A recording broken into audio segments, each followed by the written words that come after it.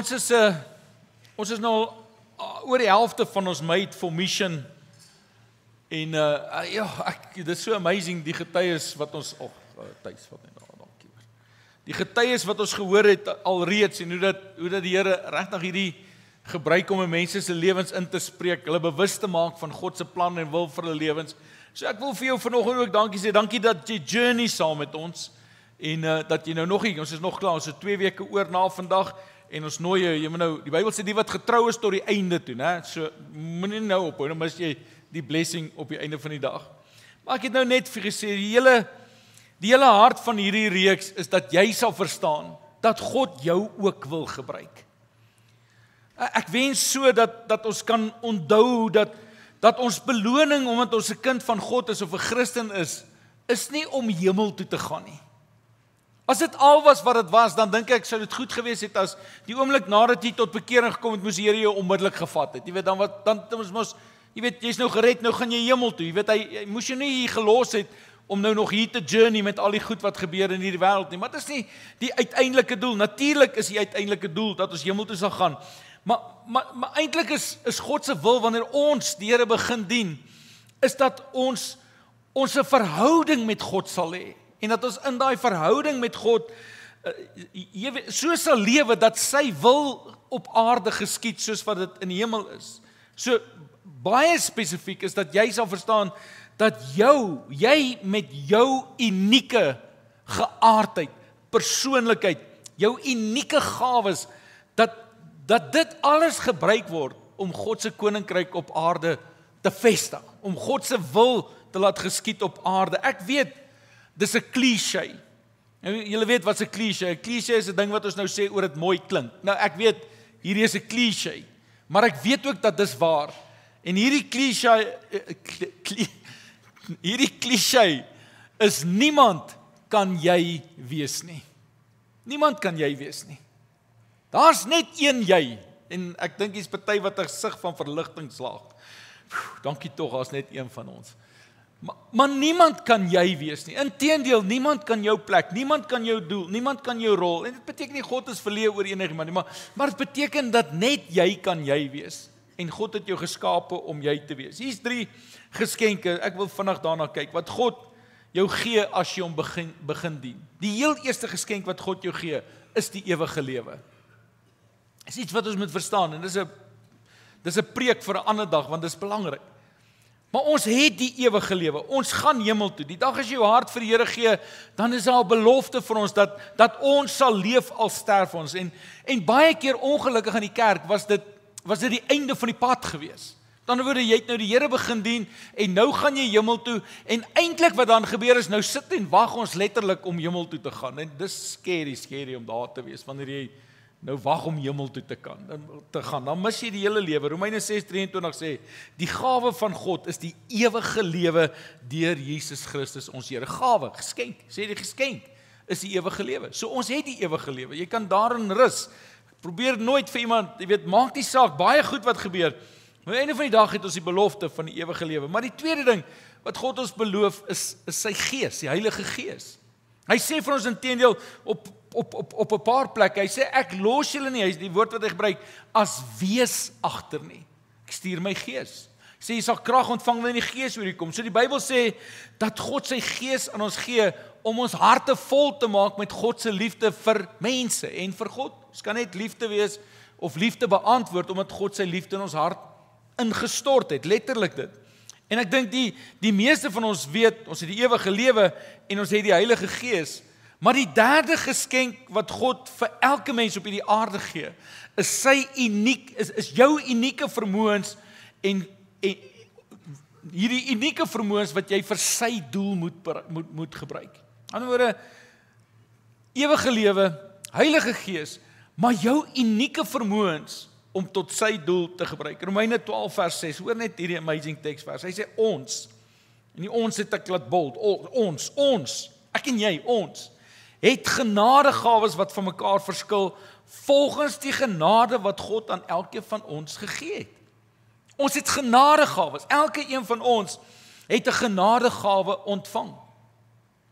En ek weet dis nou nie die die regte plek om hierdie te gebruik nie, maar ek onthou op 'n stadium was dit nou nogal iets wat baie in rugby terms gebruik is. Kan kan nou onthou is is die woord was gewees met met as nou 'n losgemaal, 'n skram is en nou is almal besig besig, dan is die woord use it or lose it. Use it or lose it. Met ander woorde, wat die reël is dat as jy die bal het en jy doen niks met hom, dit bly net 'n statiese losgemaal. Met ander woorde, jy gaan nee, jy gaan nie vorentoe, jy staan nou net daar. Ja, ek wonder of julle weet wat is 'n statiese losgemaal.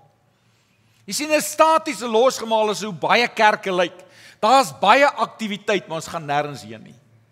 Jy weet ons ons ons, ons stoei en bloei net en sweet net. Jy weet dis al wat gebeur. Maar maar as jy use it as jy dit nie gebruik, jy die bal is joune as jy hom nie gebruik nie, verloor jy dit. En ek dink die hartseer ding is is dat hierdie genadegawes wat God ons gegee het, as ons dit nie gebruik nie, verloor ons dit. En ek dink baie mense sit iewers in hulle lewe dan dink hulle, "Ag, ek het niks nie." My feit van die saak is jy het nooit gekyk na dit wat jy het nie. Soos jy vandag eerlik met jouself wil wees. En hier's 'n vraag. Ek wil jou hierdie vraag vra. En ek nooi jou. Ehm um, julle kyk my aan vanoggend asof ek of of ek op 'n ander planeet is, maar maar ek is hier in Klerksdorp, moenie worry nie.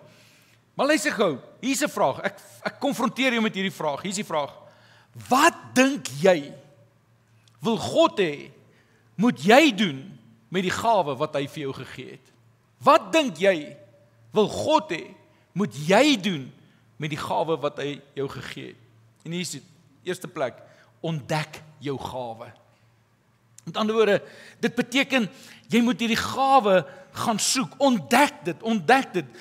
Uh, een van die aanhalinge wat jy in hierdie week in jou boekie gaan lees is hier. Hy sê whenever God gives you responsibility, he gives you the ability to meet that responsibility. God sal nie van jou verwag om iets te doen wat jy nie kan doen nie. Inteendeel, partykeer moet ons so 'n bietjie op 'n punt gedruk word om te sien wat is ons vermoëns. Ons weet nie een van ons weet wat ons vermoëns is totdat jy op baie plek is wat jy jy, jy moet hier binne in jou in in diep om te kom en sê hier's wat ek tot in staat is. Dis wat ek kan doen. Ek kan ek kan soveel meer doen as wat ek gedink het. Ek is tot soveel meer in staat as wat ek ooit gedink het ek kan doen. So God will never give you responsibility if he does not also give you the ability to meet that responsibility. Ek is baie keer dink ek oor hierdie goed. Ons het 'n week baie oor dit gepraat. Maar jy, jy weet, wat is die goed waarvan jy hou om te doen? Hulle vra Marius vra my uh, jy weet, hy sê donderdagoggend by die man, hy sê Johan, wat kom maklik vir jou? Ek sê ek praat maklik. En iemand sê, "Eers gelukkig is ek nie ekstrovert nie, want kan jy nou dink hoe baie sou ek dan gepraat, jy weet." Maar ek praat maklik, maar it's amazing hoe dat God kom en hierdie vermoë vat en dit eintlik letterlik net vermenigvuldig. Daar's mense wat sê en dis die hartseerste ding op hierdie hele aarde. En ek weet jy sit nou hier en jy dink, "Jesus, ek dink nie ek het enige spesiale vermoëns nie." Want die meeste mense kyk na hulself en dink, "Nee, wat kan ek nou doen?"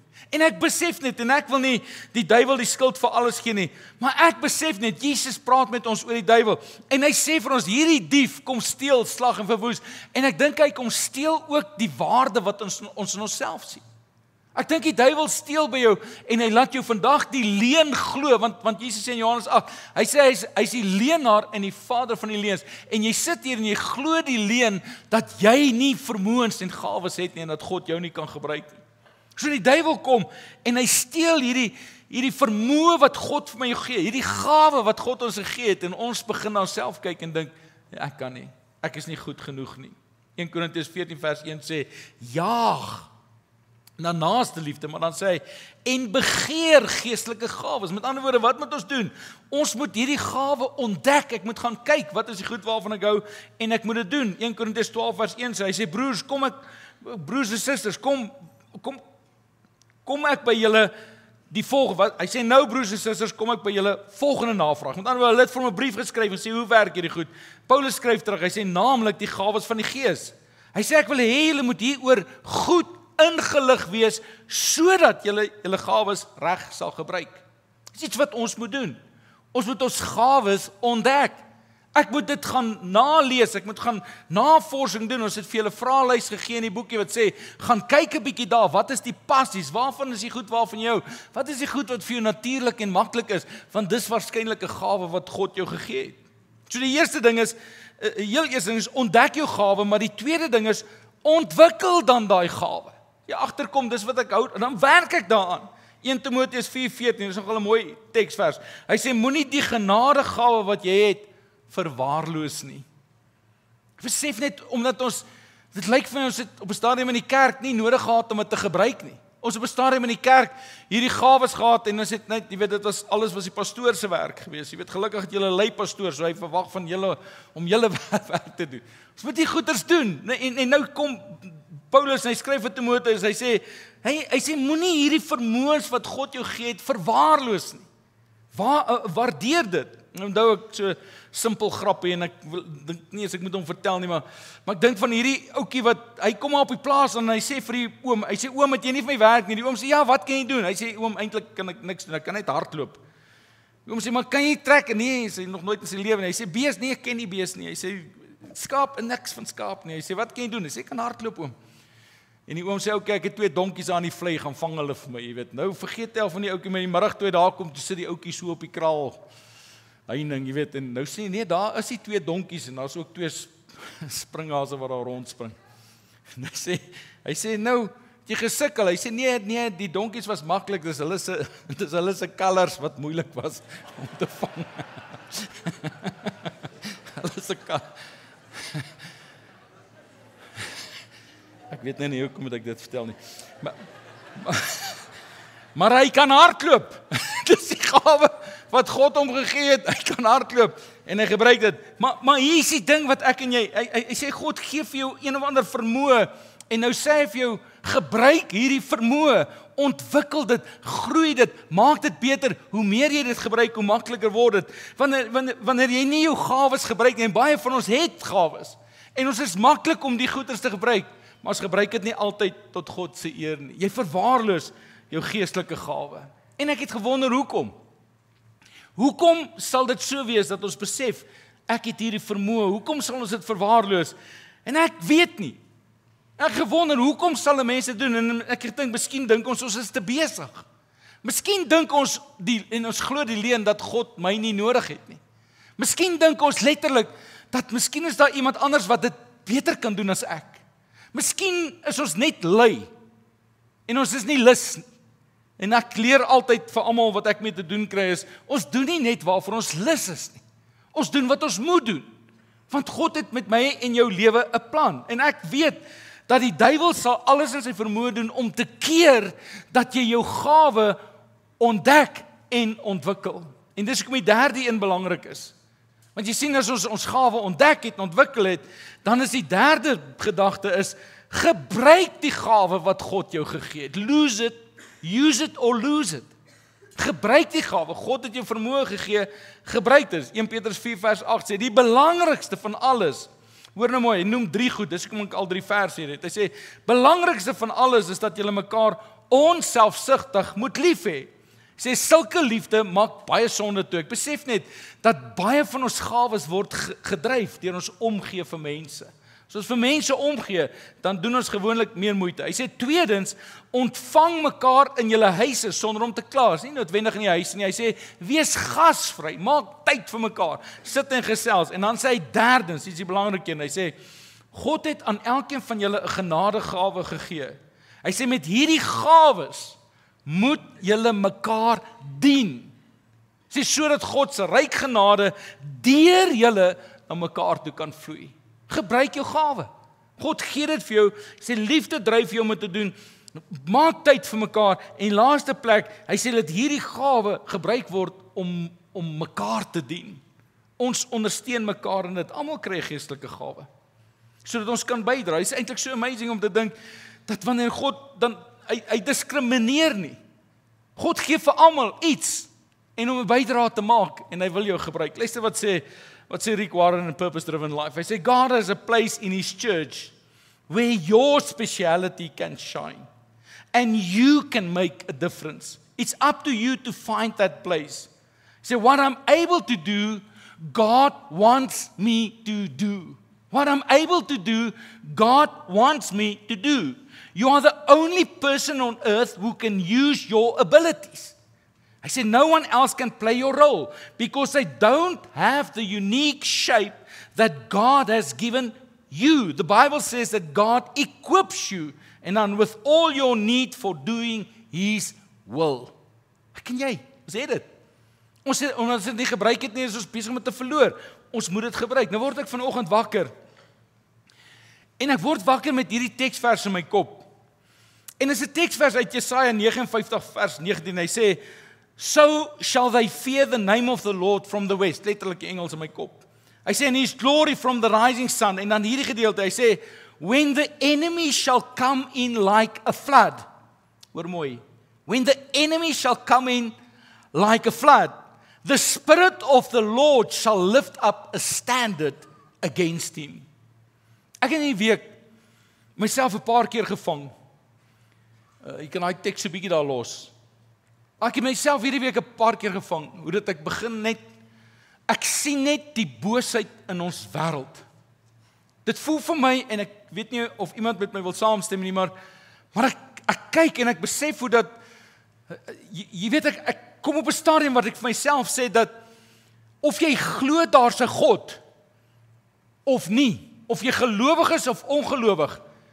Ek wonder of daar iemand op hierdie aarde is wat nie agterkom dat daar 'n bose mag besig om te werk. En daai bose mag is presies besig om te doen wat Jesus gesê het hy gaan doen. Hy gaan kom en hy gaan steel, slag en verwoes. Dit voel vir my jy hoef nie ver te soek om agter te kom dat hierdie boosheid is besig om oor te neem. Nou wonder ek oor dit en ek besef in hierdie hele proses, hierdie gedagte when the enemy shall come in like a flood. The Spirit of the Lord shall lift up a standard against him. Nou is daar mense wat sê dat hierdie komma is op die verkeerde plek. So ek wil hê jy moet die volgende slide opsit, net kyk of jy dit raak sien. Luister mooi. Nou sê hierdie, hy sê when the enemy shall come in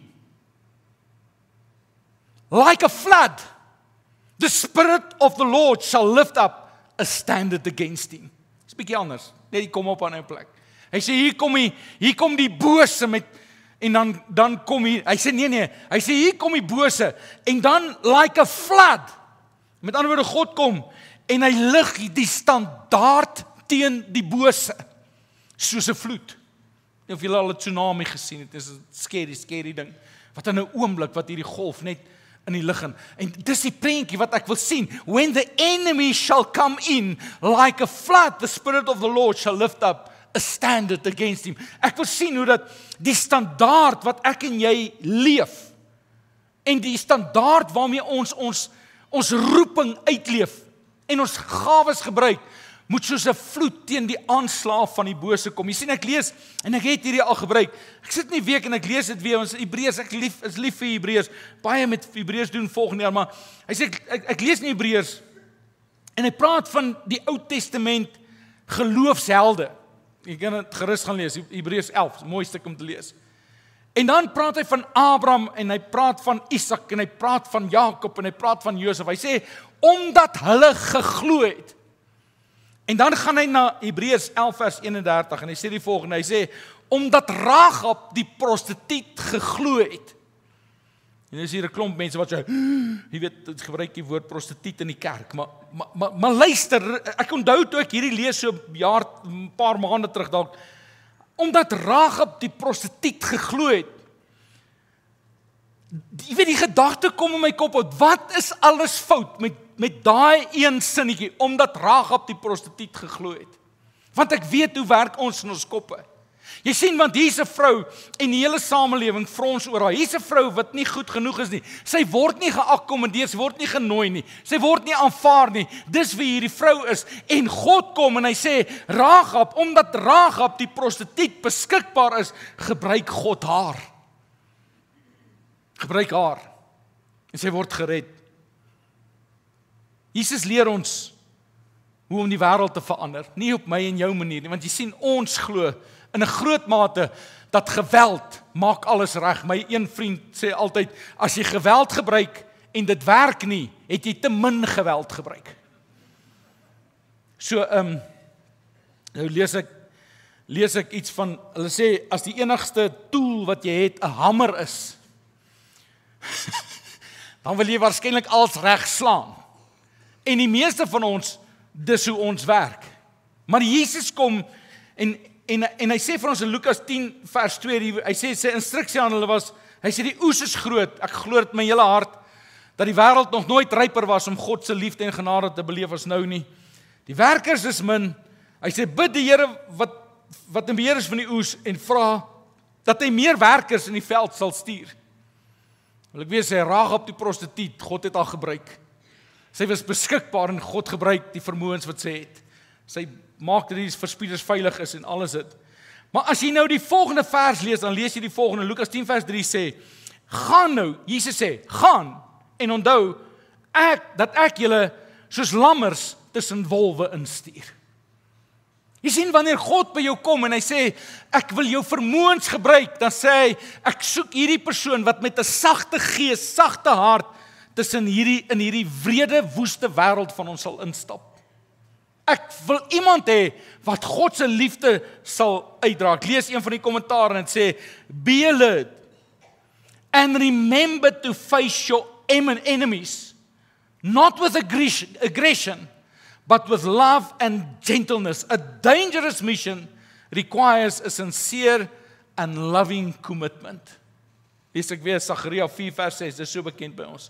Jesus die, of die Bybel skryf ons hier nie nie nie met mag en krag sal jy slaag nie. Maar deur my gees sê die Here die almagtige. Nie deur mag en krag sal jy slaag nie, maar deur my gees sê die Here die almagtige. Ek wil jou vandag nooi om iets te sien van wat ons oor die laaste paar weke probeer kommunikeer. Ons probeer sê dat God almal wil gebruik. Ons probeer sê dat dat as jy jouself aanbied en sê Here, hier is ek, dan sal hy die vermoëns wat jy het ook gebruik. Dit mag dalk vir jou voel ek is nie goed genoeg nie. Ek het nie die vermoë nie. Here, nie ek nie. U kan my nie gebruik nie terwyl ek 100% weet dat God wil en kan. Ek wil weet, kan jy jou prentjie, jou kop net om dit kry en sê hier's die geloofshelde, die manne van God, die mense wat vir God iets doen en tussen dit alles is daar iemand wat glad nie kwalifiseer nie en God sê ek gebruik haar. So ek nooi jou om vir 'n paar oomblikke jou oë te sluit saam met my. Ek wil hê jy moet net so bietjie in jou eie hart inkyk. Ek wil jou vra dat jy vir 'n oomblik sal vergeet van al die maars. Ek onthou dat ek eendag met 'n man sit en dan sê ek vir hom iets en sê hy ja maar, dan sê ek iets anders sê ja maar. Toe sê ek, "Hoekom is jy hier?" Want alles wat ek vir jou sê, ja maar jy. En ek besef ons as mens is so. Jy sien vir elke oplossing kry ons 'n ja maar. Vir elke opdrag kry ons 'n ja maar. Vir elke ding wat ons weet God sê vir my, het ek 'n goeie rede hoekom dit nie op my van toepassing is nie. Ja, maar terwyl ek weet vir 'n feit dat God wil jou gebruik. Ons het in die week so mooi daaroor gepraat hoe dat hy selfs die hartseer, die teleurstellings, die verleenthede in jou lewe wil gebruik om sy koninkryk te bou.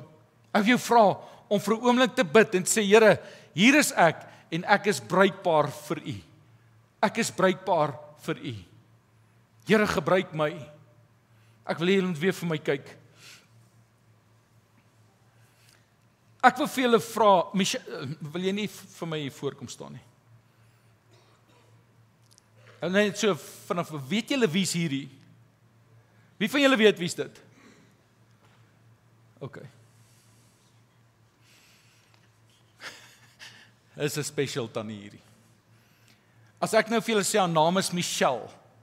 Wie van julle weet nou wie's Michelle? Wie van julle het al 'n oproep van Michelle af gekry? So 'n paar maande terug, hoe lank terug is dit? Toe bel ek haar, toe sê ek vra Michelle, ek het werk vir jou. Ken jy nou? Toe sa haar woorde aan my net maandag toe bid ek, Here, maak my bruikbaar. En intussen tyd, ek staan vanoggend hier en ek sê met groot oortuiging in my hart dat sy het al met meer van julle gepraat as ek. Hoeveel oproepe het jy al gemaak? paar duisend want eendag het sy 'n lys van 1800 name gekry. Toe sê sy eendag vir my sy het al 1600 van daai duisend. Sy is nou klaar deur die 1800, ek is seker. Ja, 1800. Nou ek huile my hande as ek 1800 mense moet bel. nee, ek sien nie kans vir dit nie. Ek het nie so baie woorde. Michelle het genoeg woorde vir dit. Ek wil hê ons moet vanoggend net iemand wat sê Here, maak my bruikbaar. Intussen tyd kan ek vir jou sê met hoeveel mense sy kontak gemaak het. En baie van julle sit hier en jy onthou Vrydag aand was dit so mooi. Sy sit en iemand sê: "Oos jy Michelle? Jy het met my oor die foon gepraat, ken mekaar oor die foon leer ken." En ek wil julle uitnooi. Steek julle hande uit na Michelle toe. Kom ons bless haar vandag. Jesus, dankie vir Michelle. Here, ek weet in haar liggaam is sy nie 100% gesond nie, maar Here, vandag spreek ons genesing oor haar. Ons bid dat U ook haar siekte sal aanraak. Maar Here, dankie dat dit iemand is wat 'n hand opgesteek het en gesê het: "Ek wil bruikbaar wees vir die Here. En Here, ek dank U vir elke oproep wat sy gemaak het. Here, met elke persoon wat sy kontak gemaak het, elke persoon wat sy opgevolg het. En Here, dankie vir die vrug op daai arbeid. Here, omdat iemand gesê het, hier is ek, ek is bruikbaar. Ek seën jou Michelle in die naam van die Vader, Seun en Heilige Gees in Jesus naam. Amen. Dankie vir jou.